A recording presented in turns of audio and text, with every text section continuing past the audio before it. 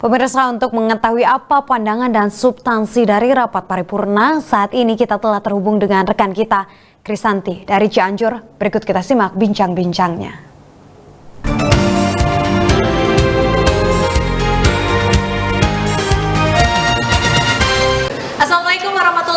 Wabarakatuh Pemirsa Bandung TV apa kabar Anda? Saya Krisanti. Senang sekali hari ini berkesempatan hadir dalam agenda pengucapan janji ataupun sumpah anggota DPRD Kabupaten Cianjur masa bakti 2019 hingga 2024 sudah dilaksanakan prosesi pengangkatan janji dan sumpah tadi pagi pukul 9 dan berakhir hampir pukul 1 dan tentunya ini merupakan salah satu tantangan baru bagi Kabupaten Cianjur berkaitan dengan para wakil rakyat yang akan terus memperjuangkan aspirasi rakyat khususnya adalah masyarakat Kabupaten Cianjur. Telah hadir bersama saya adalah Bupati Kabupaten Cianjur dan juga PLT uh, eh, sementara dari uh, anggota DPRD Kabupaten Cianjur. Assalamualaikum Bapak-bapak. Waalaikumsalam warahmatullahi wabarakatuh. Iya, sehat semuanya ya? Alhamdulillah. Alhamdulillah. Prosesi sudah dimulai dari tadi pagi jam 9 walaupun iya. ada kendala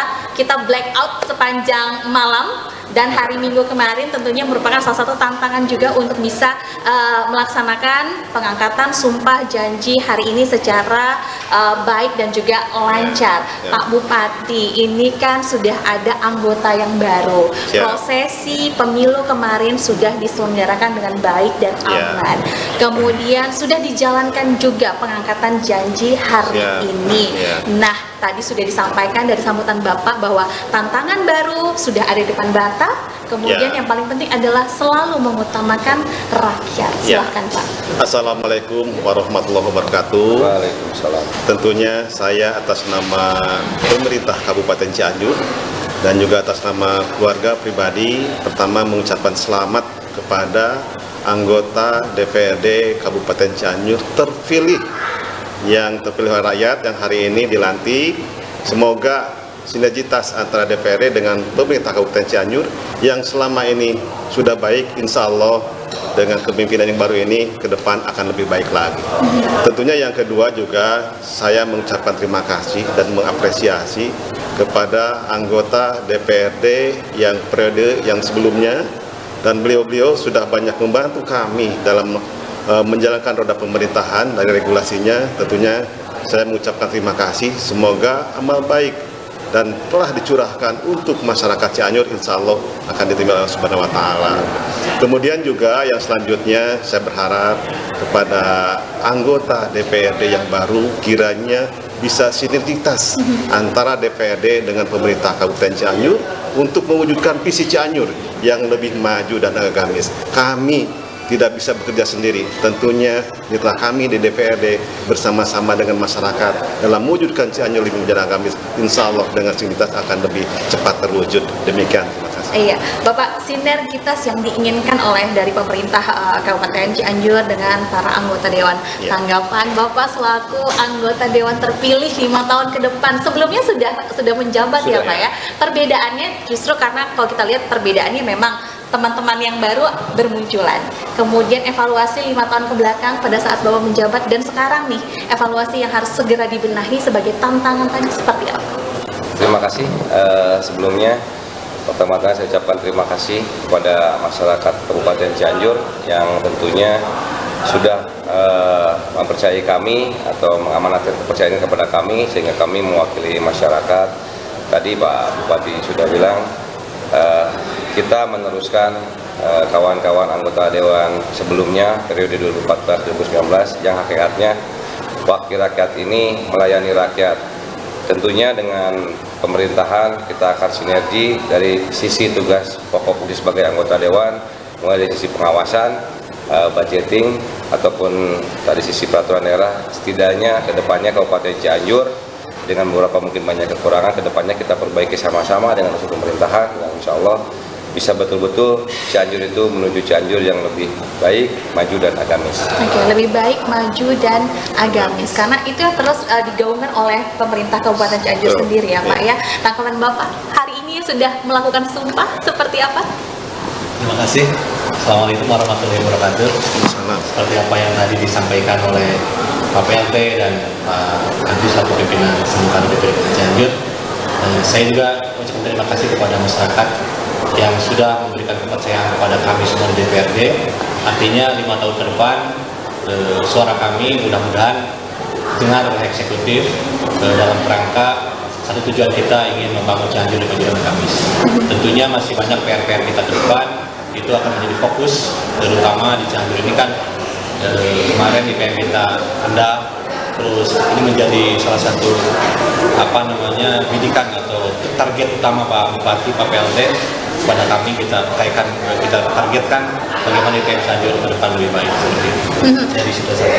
Oke, tadi eh, ada banyak program yang memang diinginkan untuk segera direalisasikan. Kemudian juga PR tadi disebutkan ada beberapa PR yang harus dikerjakan, diselesaikan. Yang paling urgent dari semua agenda yang Bapak miliki ini bidang apa? Apakah bidang pendidikan, kesehatan, atau eh, ekonomi?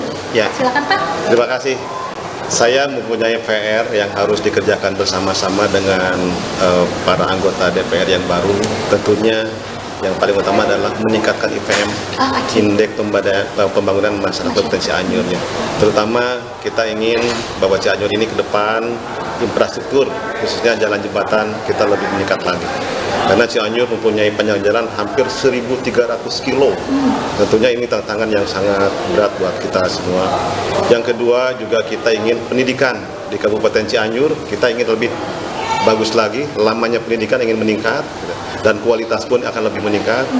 Juga kesehatan, kesehatan kita ingin lebih baik lagi, apalagi isu stunting di Kabupaten Cianjur kita yang gizi buruk ke depan tidak boleh ada lagi. Sehingga usia harapan hidup masyarakat Cianjur ke depan akan lebih tinggi lagi. Yang ketiga, bidang ekonomi. Bidang ekonomi pun masyarakat harus apa namanya dari jual daya belinya harus lebih meningkat lagi. Sehingga dengan tiga faktor itu menjadi kita bersama, ya kita tahu penyakitnya, tahu apa apa namanya untuk menanggulanginya. Saya yakin dengan kebersamaan solidaritas antara pemerintah daerah dengan DPR, saya yakin ke Cianjur ke depan IPM-nya akan lebih meningkat kembali. Jadi memang eh, fokusnya adalah pada eh, Ya, peningkatan mutu pendidikan, kualitas ma- manusianya, manusianya sendiri, ya. sendiri itu, Mhm. ya. Baik itu dari ekonomi, kesejahteraan, Kesehatan dan dan juga pendidikan. dan juga kesehatan. Infrastruktur juga. Infrastruktur juga Ya. mendukung berkualitas atau tidaknya Iya, manusia yang ada di betul. Kabupaten Cianjur. Iya, iya. Tanggapan Bapak-bapak sebagai wakil rakyat?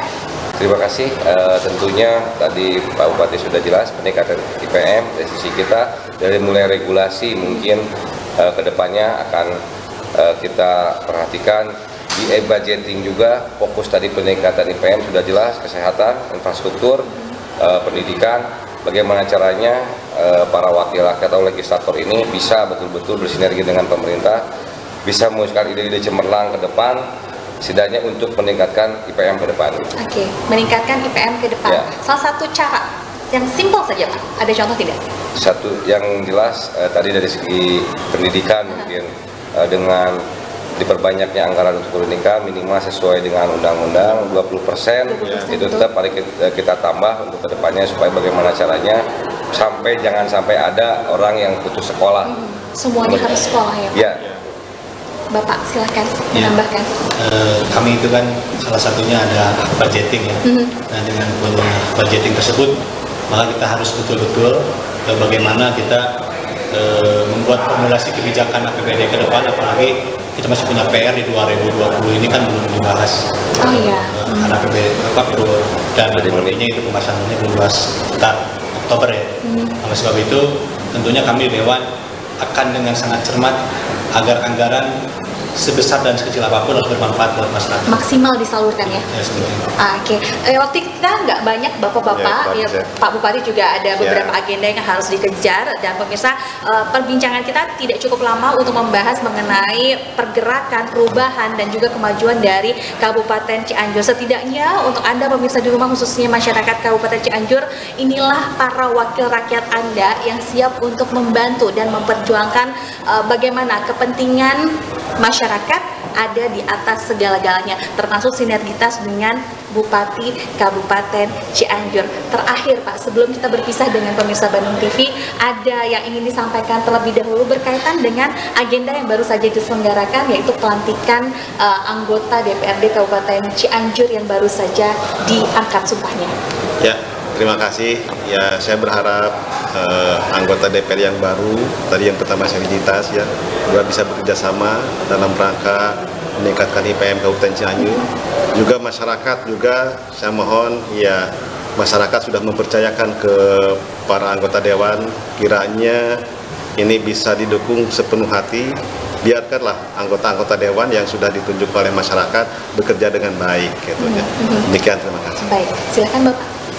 Sebelumnya terima kasih kami yang sudah terpilih 50 anggota DPRD ini mohon doa dan dukungannya Semoga ke depan kami bisa amanah, bisa melaksanakan tugas kami sesuai dengan harapan e, masyarakat dan tentunya tadi yang paling utama kami bisa bersinergi, kami bisa bersama-sama pihak eksekutif untuk membangun Cianjur ke depan yang baik, lebih maju dan agamis. Iya. Terima kasih. Terima kasih Bapak. Bangga Bapak silakan. Karena kita dipilih oleh rakyat, maka mengagregasi dan mengartikulasi kepentingan masyarakat itu menjadi sebuah tujuan kami dan dengan adanya sinergitas dengan pemerintah saya yakin eh, kesehatan masyarakat Cianjur uh, akan terwujud. Terima kasih. Assalamualaikum warahmatullahi wabarakatuh. Nah itu tadi adalah pesan dari para uh, wakil rakyat dan juga Bapak Bupati. Semoga lima tahun ke depan bersinergi dengan baik dan Amin. tanpa adanya miscommunication ya Pak ya. Semuanya dilakukan dengan tentunya berdiskusi dan juga berkomunikasi. Jangan lupa kan rakyat di uh, luar sana ya Pak ya. Sudah pasti. Sudah pasti dan tentunya selalu berjuang untuk rakyat. Terima kasih Bapak-Bapak atas waktunya.